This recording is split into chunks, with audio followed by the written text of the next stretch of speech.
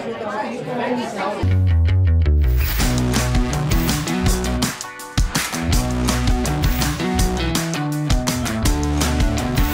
right, welcome to Cwic Show. My name is Greg Matsen. I am your host. In this episode, we are going to talk about the Feminist Theories class, which is now going to be offered at BYU Provo this fall 2022. Before we get into this, just want to remind everybody head over to quickmedia.com, cwicmedia.com, and go to the Critical Social Justice page to get some information on how we kind of uh, work between gospel principles and tenets and critical social justice principles and tenets. And you can really see the difference with these things if you start looking at the principles. So go take a look at that page. Now, we have here um, exactly what I had said was going to happen. And this is just uh, the very beginning, I am sure, of numerous other courses that are going to be coming to uh, BYU. It's an expansion, right, of, of where we've been in the past. You've had uh, at BYU, you've got a number of professors that are already inserting the religion of academia into their teaching. Some of them are more radical than others. Some of them slightly mention it. Some of them use the vocabulary, uh, the verbiage of the new religion. And, and that's really what it is. Critical social justice is a religion, it is an ideology, it is a worldview and it requires a certain sacrifice. It requires has certain tenets. It has certain rituals. And uh, in, in, many ways, for those that are real adherents to it, it requires your heart, might, mind, and strength.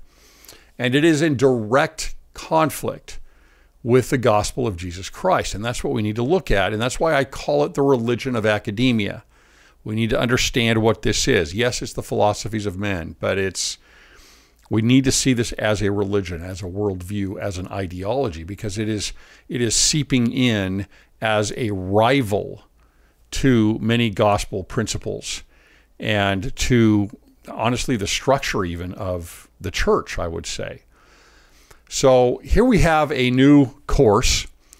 This is, let's take a look here. If you're on video, you can take a look. I don't have the best image of this, but uh, GWS, which is Global Women's Studies 422, uh, I Humanities 390, and Philosophy uh, 450R. 450R is usually something I think that is being tested as a new course. And it is feminist theories.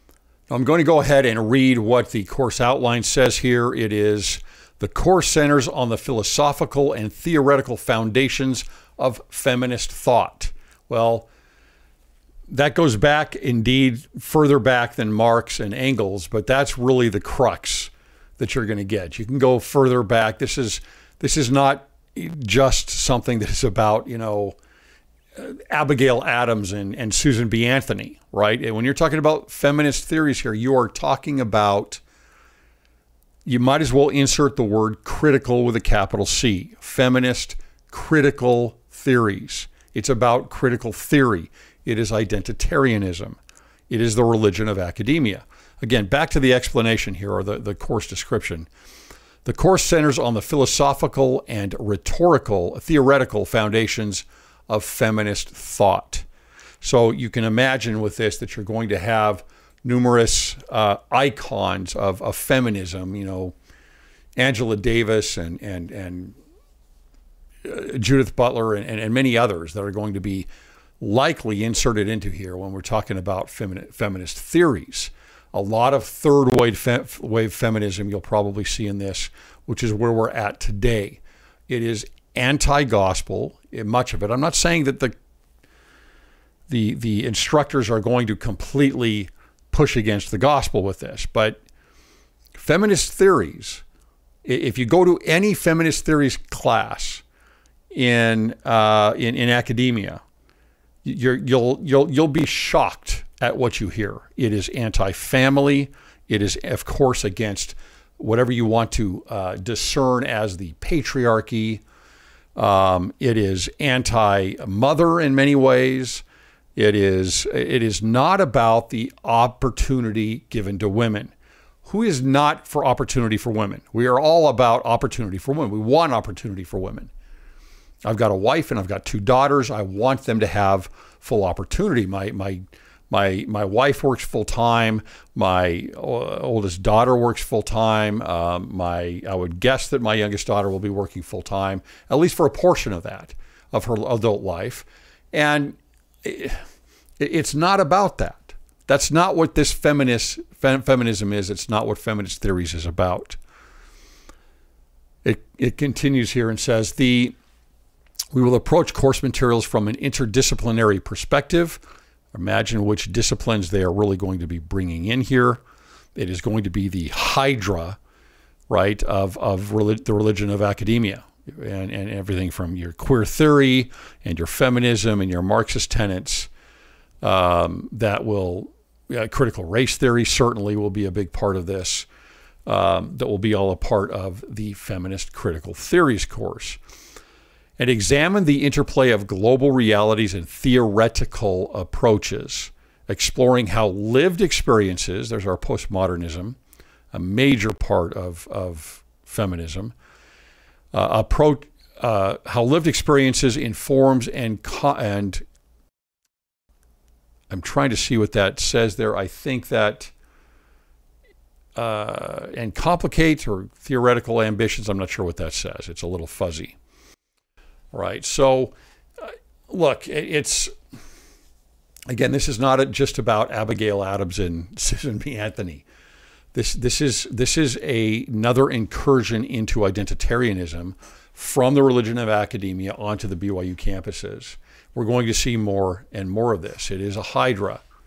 I've talked about this a lot before. The reason I like the idea of the hydra with critical social justice is because it's a great representation mapping this monster onto the departments, certain departments specifically of, of, of academia. And so you've got several different heads here. You've got, you know, what, what starts off with, uh, with women's studies, and then you're going to have queer theory, and you've got critical race theory, uh, which is the biggest head of them all currently right now. You've got fat studies. You've got uh, ableism. You've got all of these intersectional uh, identities that are being brought in that that the church is definitely trying to um, put into context right now as they talk so much about identity. But as you bring one of these in, you're not just bringing in one of the heads, like with women's studies. You're bringing in the entire Hydra monster, all of the heads, one by one, two by two, whatever they might be. And here now we see the next head coming in here, which is the, the feminist theories class, which is not just offered in the women's studies department, which, by the way, is under the, the family sciences. Uh, that's kind of funny, isn't it? It's in fam- the Family Sciences College uh, at BYU. But it's, uh, it's also going into philosophy, and uh, I can't remember what the third department was on that. But these several heads are going to coalesce into a into what we might call critical social justice. It's it's they're all under the same umbrella of identitarianism. It is one monster. It is one monster with that, and it's very important to understand with Marxian tenets at its base, at its core. It is Marxian tenets at its core, with several different um, manifestations that come out with different heads through uh, as departments within academia. So the Hydra it maps onto these departments from academia. And, and you cut one head off while there's many others that are going to come in. You bring one head in uh, of the Hydra, then you're going to get many others. And, and, and, and unless there's a massive pushback, like as I've said previously, we're going to see all of the heads of the Hydra at BYU. They will all come in. And it's you, you can't get away with it because there's too much co- uh, corroboration between each of the heads and each of the departments. It is part of the religion. It is the religion of identitarianism and, and academia. So, for example, if if if I am in in our gospel, in our doctrine, if I'm going to go in and say I'm going to bring in the idea of faith in Jesus Christ in, well, I can't do that without also talking about repentance. Right? And I can't I can't talk about those things without talking about the fall in the Garden of Eden. And, and, and I can't do that without talking about the atonement.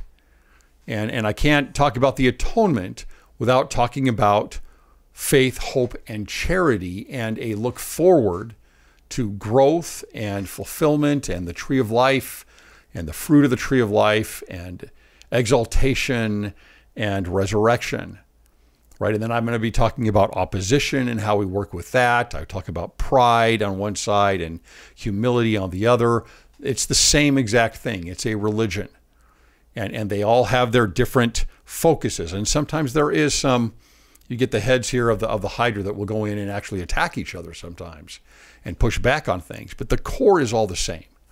It's all there. And we, we, can, we can count on, I believe, you know, what do I know? But we, we can count on several more of these heads coming in and infiltrating as a virus, because it is a virus, and infiltrating the institution of, of BYU and, and who knows where else. We're going to see it in the church.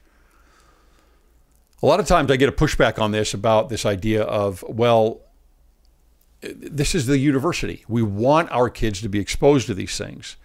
And we want our our our youth, right, to our young adults to to learn them in the context of the gospel in, in a safe environment instead of going out and learning them from another place out of context and, and without elements of the gospel put in there. I understand what you're saying, but you're wrong. You are wrong.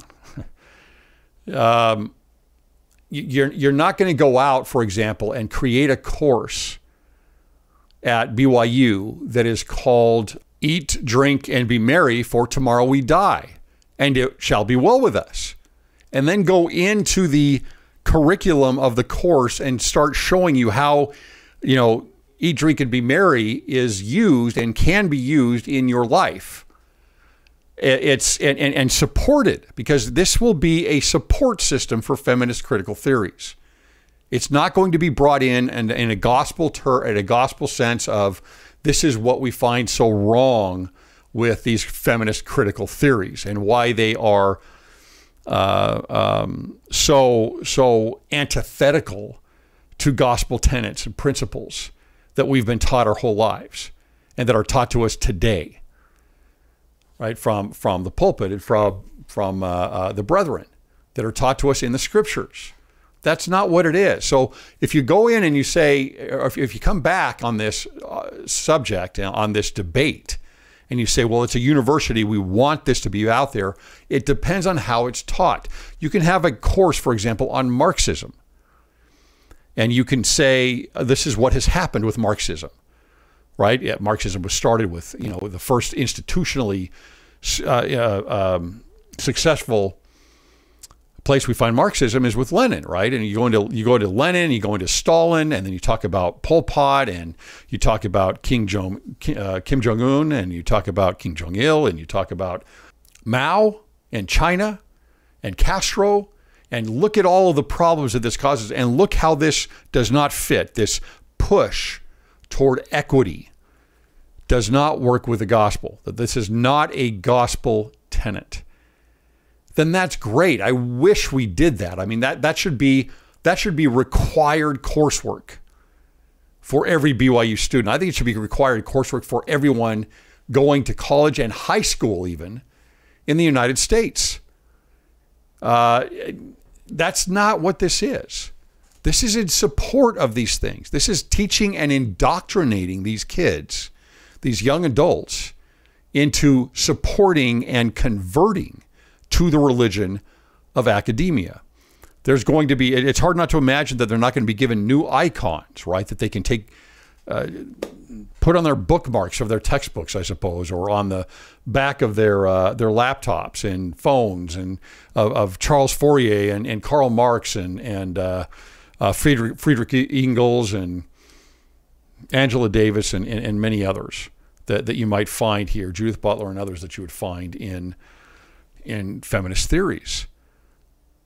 What if we took this and we taught against it? What if we contrasted the gospel, the words of the prophets, the scriptures, the plan of salvation with feminism?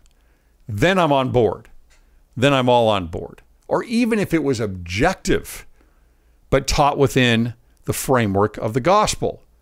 Not going to happen here. The framework of the gospel teaches us a very important principle, and that is equality of opportunity is essential. We never gain it. We probably never will in this mortal world. Maybe, maybe in Zion, right? Maybe in the millennium. I don't know. But that is something we should strive for. That requires charity, it requires sacrifice, it requires effort to give everybody equal opportunity. Equity, on the other hand, what is termed today as justice, which is not really justice. It, it is it is equality of outcome. That's what equity is. And so when you have that those two forces against each other, a gospel-centered force, tenet, principle of equal opportunity. You get to choose and use your agency. That's what we want. Versus, we are going to force the outcomes on the back end, and we're going to build these theories from this end instead of the other end, where things are forced, which requires always, always tyranny. When you look at the two sides of of, of equality of opportunity and forced outcome or equity. On the one time, on the one side, with with uh, equality of opportunity, what you're losing there usually, and this is the problem with it, is charity. You can't do it without charity. That means looking out for the well-being of others. So what we must do is, apart from creating a system uh, something that we've obtained to a, a, large degree in the United States and even in the West as a whole, but it's still not perfect. You have to add charity in there. You can't just have the system. You have to have a charitable people that are going to create that equal opportunity in its execution, in its manifestation, in its practicality. So it requires the development of charity, and that's what we must focus on. However, on the other end of the spectrum, with equity, it does not require any charity. What it requires instead is its opposite, which is tyranny. It has always, always devolved in tyranny. The doctrine of equity has always devolved into tyranny, and it always will. And so, if we could teach the difference between those two ends of the spectrum and, and put that into our curriculum, then, then we can have more clarity on things like feminist theories, on things like critical race theory, and understand what their true objective is and from where they are working. There is a great difference, a vast chasm between faith and secularism. Faith is what is taught at in, in the gospel of Jesus Christ. Secularism discounts faith, removes faith. Feminism is a secular theory and, and fights directly against the gospel of Jesus Christ. We want faith over secularism, not the other way around. They, they, they are they're, they're, they're in direct conflict. We also want true Christianity, true Christianity, over the religion of academia. Thanks for listening.